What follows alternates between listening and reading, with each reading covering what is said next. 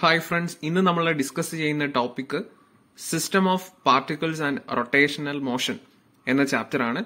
So നമുക്ക് ഒട്ടും lag ചെയ്യാതെ ചാപ്റ്ററിലേക്ക് കടക്കാം. ഫസ്റ്റ് ഓഫ് ഓൾ പറയുന്നത് ഒരു റിജിഡ് ബോഡിയെ കുറിച്ചിട്ടാണ്. സോ അതിന്റെ ഡെഫിനിഷൻ പറയുന്നതിന് മുമ്പ് ഒരു ബോഡി റിജിഡ് ബോഡി ആകാനുള്ള കണ്ടീഷൻസ് രണ്ടെണ്ണം ഉണ്ട്. അത് ഞാൻ പറയാം. ഒന്നാമത്തെ കണ്ടീഷൻ എന്ന് പറയുന്നത് സോ നിങ്ങൾ ഇവിടെ ഒരു ബോഡി കാണുന്നുണ്ട്. അപ്പൊ ഞാൻ ഈ ബോഡിയിലേക്ക് ഒരു ഫോഴ്സ് കൊടുത്തു. ഒരു ഡീഫോമിംഗ് ഫോഴ്സ് ആ ഡീഫോമിംഗ് ഫോഴ്സ് കൊടുത്തപ്പോൾ ഈ ബോഡിയുടെ ഷേപ്പ് മാറുന്നില്ല എങ്കിൽ അത് റിജിഡ് ബോഡി ആകാനുള്ള ഒന്നാമത്തെ കണ്ടീഷൻ ഒബേ ചെയ്തു എന്ന് നമുക്ക് പറയാം. അതായത് ഒരു ഡീഫോമിംഗ് ഫോഴ്സ് കൊടുക്കുമ്പോൾ ആ ബോഡിയുടെ ഷേപ്പിന് യാതൊരുവിധ ചേഞ്ചും സംഭവിക്കുന്നില്ല എങ്കിൽ അത് റിജിഡ് ബോഡി ആകാനുള്ള ഒന്നാമത്തെ കണ്ടീഷൻ ഒബേ ചെയ്തു. ഇനി രണ്ടാമത്തത് ഈ ബോഡി ശ്രദ്ധിച്ചാൽ അറിയാം അതിൽ രണ്ട് പാർട്ടിക്കിൾസ് നിങ്ങൾക്ക് അവിടെ കാണാം. ഒന്നാമത്തെ പാർട്ടിക്കിൾ പി വൺ രണ്ടാമത്തത് പി ടു. ഓക്കെ സോ എത്ര സമയം കഴിഞ്ഞാലും ഈ പാർട്ടിക്കിൾസിന്റെ പൊസിഷൻ ആ പി വണ്ണും പി ടുവും ആ കൃത്യം പോയിന്റ് തന്നെയാണ് എപ്പോഴും. മീൻസ് ഇപ്പൊ ഈ ബോഡി മൂവ് ചെയ്യുകയാണെന്ന് വിചാരിക്കും ഈ ബോഡി ഇപ്പോൾ റൊട്ടേറ്റ് ചെയ്യുകയാണെങ്കിൽ പോലും പി വണ്ണിന്റെയും പി ടുവിന്റെയും പൊസിഷൻ ഒരിക്കലും ചേഞ്ച് ചെയ്യുന്നില്ല എങ്കിൽ ഈ ബോഡി റിജിഡ് ബോഡി ആകാനുള്ള രണ്ടാമത്തെ കണ്ടീഷൻ ഒബേ ചെയ്തു. So N C R T കൊടുത്തിരിക്കുന്ന ഡെഫിനിഷൻ ഇതാണ്. Ideally a rigid body is a body which with a perfectly definite and unchanging shape. The distance between all pairs of particles of such body do not change so അതാണ് ഒരു body rigid body ആകാനുള്ള ഏറ്റവും important ആയിട്ടുള്ള conditions എന്ന് പറയുന്നത് ഒന്നാമത്തെ condition ബോഡിയിലേക്ക് ഒരു ഡീഫോമിംഗ് ഫോഴ്സ് അതായത് ഷേപ്പ് ചേഞ്ച് ചെയ്യാൻ ഉതകുന്ന അത്രയും ഉള്ള ഒരു ഫോഴ്സ് കൊടുത്താൽ ആ ബോഡിയുടെ ഷേപ്പിന് യാതൊരുവിധ മാറ്റവും സംഭവിക്കുന്നില്ല എങ്കിൽ ആ ബോഡി റിജിഡ് ബോഡി ആകാനുള്ള ഒന്നാമത്തെ കണ്ടീഷൻ ഒബേ ചെയ്തു. ഇനി ആ ബോഡിയുടെ പാർട്ടിക്കിൾസിന്റെ പൊസിഷൻ ഒരിക്കലും ചേഞ്ച് ചെയ്യുന്നില്ല എങ്കിൽ. അതിന് ഡെഫിനിഷനിൽ പറയുന്നത് പി വണ്ണും പി ടു എന്ന് പറയുന്ന രണ്ട് പാർട്ടിക്കിൾ നിങ്ങൾ നോക്കാം.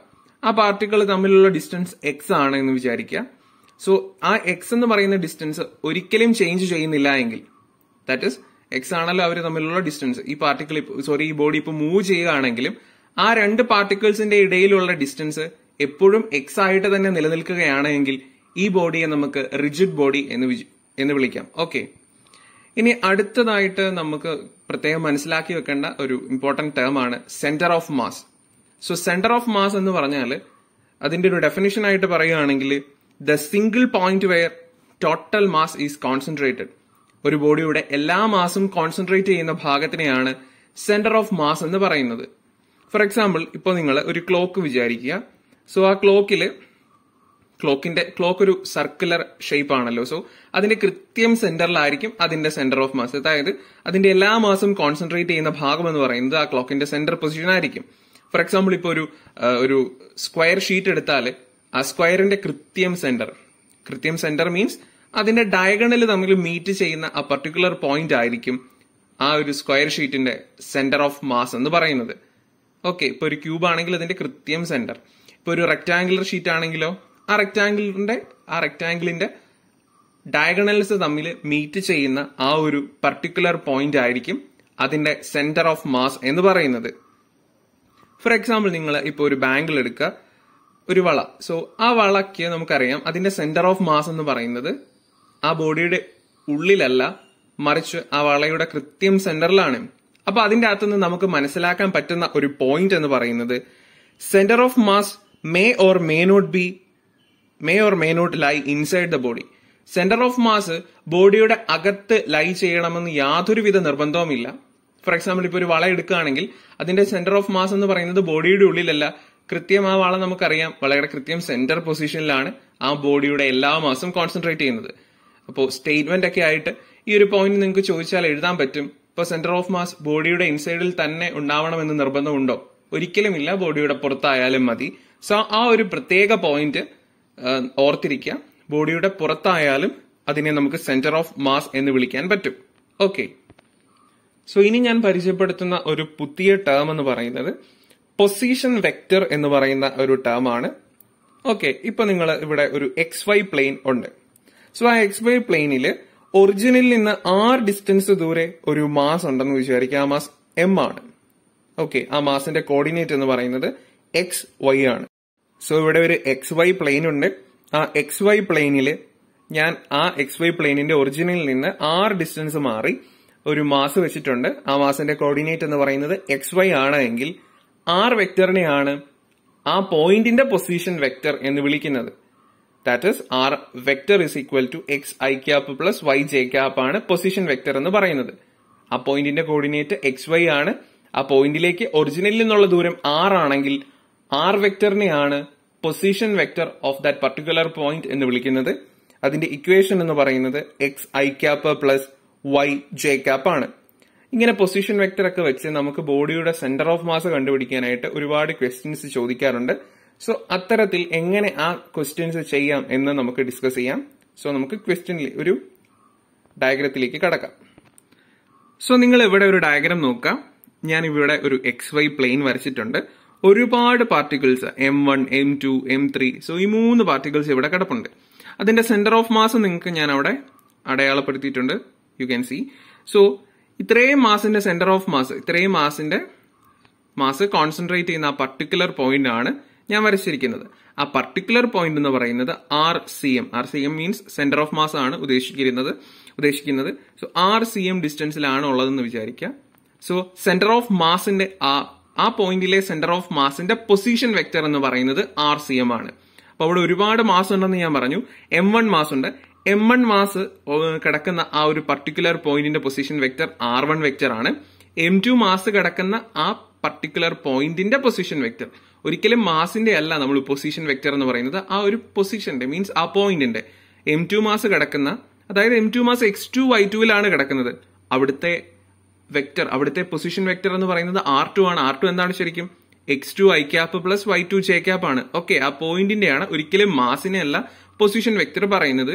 അപ്പൊ എം ത്രീയുടെ എന്താണ്? R three cap r three vector ആണ്. R three vector is equal to എന്താണ്? X three i cap plus y three j cap ആണ്.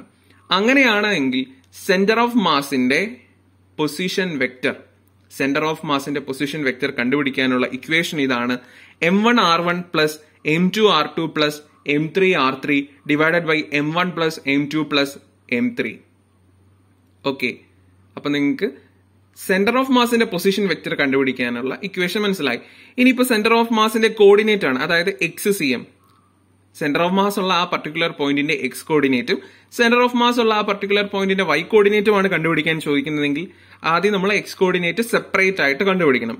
അതായത് എക്സ് സി എം എന്ന് പറയുന്നത് m one x one plus m two x two plus m three x three divided by m one plus m two plus m three പിന്നെ Y centre of mass ആണ് കണ്ടുപിടിക്കാൻ ചോദിച്ചിരിക്കുന്നതെങ്കിൽ y c m is equal to m one y one plus m two y two plus m three y three divided by m one plus m two plus m three ആണ് equation so നമുക്ക് ഒരു question ചെയ്യാം. For example two kilo three kilo and five kilo particles are kept at one zero one and one kilo two kilo at minus two one two മൂന്ന് coordinate ഉണ്ട്. എക്സും Y ഇസഡും അങ്ങനെയാണെങ്കിൽ centre of മാസിന്റെ coordinate കണ്ടുപിടിക്കാനാണ് ചോദ്യം. So നിങ്ങൾക്കറിയാം അഞ്ചും മൂന്നും എട്ടും രണ്ടും പത്ത് കിലോയാണ് വൺ സീറോ വൺ എന്ന് പറയുന്ന പോയിന്റിൽ ഒന്നും രണ്ടും മൂന്ന് കിലോയാണ് മൈനസ് ടു വൺ ടു എന്ന് പറയുന്ന പർട്ടിക്കുലർ പോയിന്റിലുള്ള മാസ് അങ്ങനെയാണെങ്കിൽ ഇക്വേഷൻ നമുക്കറിയാം. സെന്റർ ഓഫ് മാസിന്റെ എക്സ് കോർഡിനേറ്റ് എന്താണ്?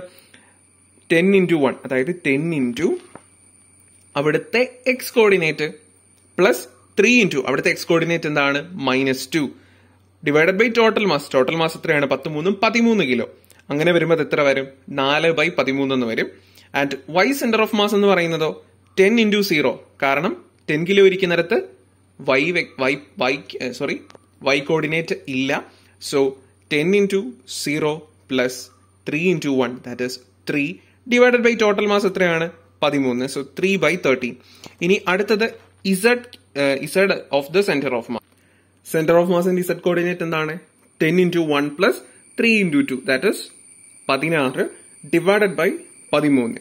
അപ്പൊ എത്രയാണ് കോർഡിനേറ്റ് സെന്റർ ഓഫ് മാസിന്റെ കോർഡിനേറ്റ് നാല് ബൈ പതിമൂന്ന് മൂന്ന് ബൈ പതിമൂന്ന് പതിനാറ് ബൈ പതിമൂന്ന്. സോ ഈ ഒരു ക്വസ്റ്റ്യൻ നിങ്ങൾക്ക് വളരെ നന്നായിട്ട് മനസ്സിലായി എന്ന് ഞാൻ വിചാരിക്കുന്നു. ഏതെങ്കിലും ഒരു പോയിന്റിൽ ഉള്ള ഒരു ഏതെങ്കിലും ഒരു പോയിന്റിന്റെ പൊസിഷൻ വെക്ടർ എന്ന് പറയുന്നത് ആർ വെക്ടർ എന്നാണ് സൂചിപ്പിക്കുന്നത്. ആർ വെക്ടറിന്റെ equation X I cap plus Y J cap ആണ്. സോറി ഓക്കെ ഈ പൊസിഷൻ വെക്ടറിനെ പറ്റി കൂടുതലായിട്ട് നിങ്ങൾ മാത്തമാറ്റിക്സിൽ പഠിക്കും. സോ ഇപ്പം ഏകദേശം ഒന്ന് മനസ്സിലാക്കി വെക്കുക പൊസിഷൻ വെക്ടർ എങ്ങനെയാണ് നമ്മൾ ഡിസ്ക്രൈബ് ചെയ്യുന്നത് എന്ന്. ഓക്കെ ഇനി ഞാൻ ഇവിടെ ഒരു ഡയഗ്രാം കൊടുത്തിട്ടുണ്ട്. നിങ്ങൾ നോക്കാം. ഞാൻ സീറോ സീറോ അതായത് ഒറിജിനിൽ എം വൺ മാസമുള്ള ഒരു ബോഡി വെച്ചിട്ടുണ്ടെന്ന് വിചാരിക്കുക. ആ എം വൺ മാസമുള്ള ബോഡിയിൽ നിന്ന് ആറ് ദൂരം അകലെ എക്സ് ആക്സിസിൽ തന്നെയാണ് എം ടു മാസമുള്ള ഒരു ബോഡി ഞാൻ വെച്ചിട്ടുണ്ടെന്ന് വിചാരിക്കുക. സോ എം വൺ മാസിന്റെ എം വൺ മാസ് ഇരിക്കുന്ന പോയിന്റിന്റെ കോർഡിനേറ്റ് എന്താണ്? ഒറിജിന എന്നാണ് ഞാൻ പറഞ്ഞേക്കുന്നത്. സോ ഒറിജിൻ ആയതുകൊണ്ട് തന്നെ സീറോ സീറോ ആണ് അവിടുത്തെ കോർഡിനേറ്റ് എം ടു മാസ് വെച്ചിരിക്കുന്നതോ? ആറ് ഡിസ്റ്റൻസ് ദൂരെയാണെന്ന് ഞാൻ പറഞ്ഞിട്ടുണ്ട്. അതായത് ഒറിജിനിൽ നിന്ന് ആർ ഡിസ്റ്റൻസ് ദൂരെയാണ്. സോ അവിടെ ആർ വൈ കോർഡിനേറ്റ് ഉണ്ടോ? ഇല്ല. അപ്പൊ ആർ സീറോ ഇനി ഇതിന്റെ സെന്റർ ഓഫ് മാസ് എന്ന് പറയുന്നത് ഈ രണ്ട് ബോഡിയുടെയും നടു സോറി നടുക്കല്ല. ഈ രണ്ട് ബോഡിയുടെയും ഇൻ ബിറ്റ്വീൻ ആയിട്ടാണ് കിടക്കുന്നത്. ആ ഇൻ ബിറ്റ്വീൻ ആയിട്ടുള്ള സെന്റർ ഓഫ് മാസ് ഞാൻ അവിടെ ലേബൽ ചെയ്തിട്ടുണ്ട്.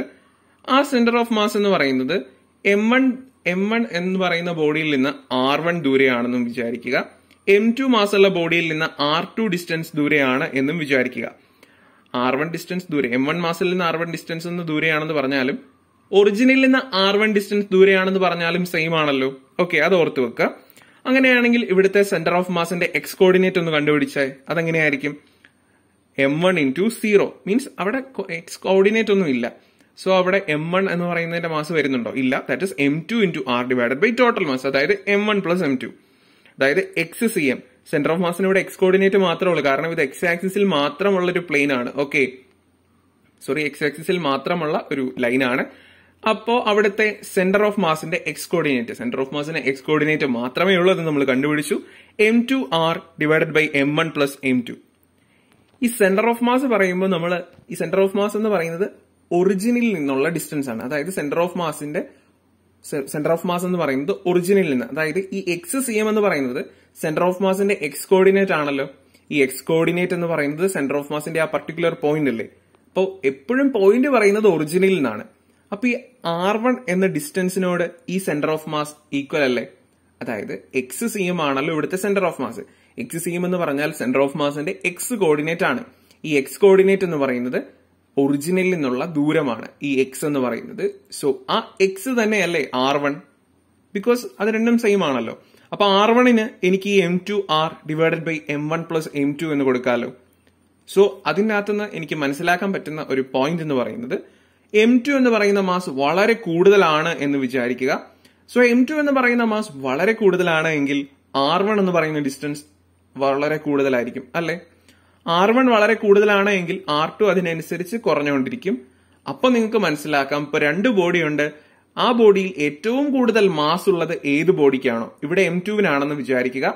അപ്പോ എം ടുവിലിന്റെ അടുത്തായിരിക്കും സെന്റർ ഓഫ് മാസ് അപ്പൊ ഇതിന്റെ അകത്ത് നിങ്ങൾക്ക് മനസ്സിലാക്കാൻ പറ്റുന്നത് ഇപ്പൊ ടു പോയിന്റ് സിസ്റ്റത്തിൽ രണ്ട് ബോഡിയുള്ള സിസ്റ്റത്തിൽ ഏത് ബോഡിക്കാണോ മാസ് ഏറ്റവും കൂടുതൽ ആ ബോഡിയുടെ ഏറ്റവും അടുത്തായിരിക്കും സെന്റർ ഓഫ് മാസ് സോ നിങ്ങൾക്ക് കോൺസെപ്റ്റ് മനസ്സിലായെന്ന് ഞാൻ വിചാരിക്കുന്നു. ഓക്കെ അതെന്താണ് നമ്മളിപ്പോ അത് ഈക്വേഷൻ വഴി ഡെറൈവും ചെയ്തു നമ്മൾ അത് മനസ്സിലാക്കുകയും ചെയ്തു. അതായത് ആർ വൺ എന്ന് പറയുന്നത് M two R divided by M one plus M ടുവിനോട് equal ആണ്. ഈ ആർ വൺ എങ്ങനെയാണ് M two R by M one plus M ടുവിനോട് equal ആയി എന്ന് നിങ്ങൾക്ക് മനസ്സിലായി. കാരണം സെന്റർ ഓഫ് മാസിന് എക്സ് കോർഡിനേറ്റ് മാത്രമേ ഉള്ളൂ. സോ ഈ ഒറിജിനിൽ നിന്ന് സെന്റർ ഓഫ് മാസിലേക്കുള്ള ദൂരം ആർ വൺ ആണ്. സോ ആർ വൺ എന്ന് പറയുന്നത് M two R divided by M one plus M ടുവിനോട് equal ആണ്. ഇനി എം ടു വളരെ കൂടുതലാണ് എങ്കിൽ ആർ വൺ എന്ന് പറയുന്നത് കൂടും. ആർ വൺ കൂടിയാൽ ആർ ടു അതിനനുസരിച്ച് കുറയും. ആർ ടു കുറഞ്ഞാൽ നമുക്ക് മനസ്സിലാക്കാം സെന്റർ ഓഫ് മാസ് എന്ന് പറയുന്നത് എന്തിനോട്? എം ടു എന്ന് പറയുന്ന ബോഡിയോട് വളരെ അടുത്തായി വന്നു. ദാറ്റ് ഈസ് എം ടുവിന്റെ മാസ് കൂടി ഇപ്പോൾ സോ കോൺസെപ്റ്റ് മനസ്സിലായി എന്ന് ഞാൻ വിചാരിക്കുന്നു. താങ്ക്